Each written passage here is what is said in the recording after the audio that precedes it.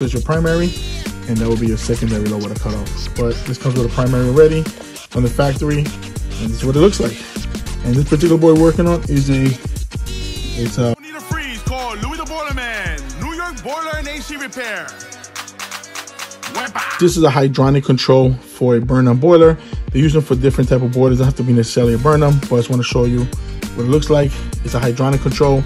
Basically, this is the brains and the operation of the boiler. It gives you the lockouts, what it means. So if you have a lockout, it tells you everything right here. So it's pretty straightforward. But this is what controls everything. Is the brain. Also, is your transformer right there. It feeds power. And this is also your low water cutoff right there. So you have a low water cutoff, so it's your primary, and that will be your secondary low water cutoff. But this comes with a primary already from the factory, and this is what it looks like. And this particular boy working on is a it's a Burnham boiler 207 and 9. All right, guys, this is what it is to be the boiler man. So if you have any questions, feel free to call Louie the Boiler Man. New York Boiler and Air Conditioning Repair, 516-377-5200 WEPA.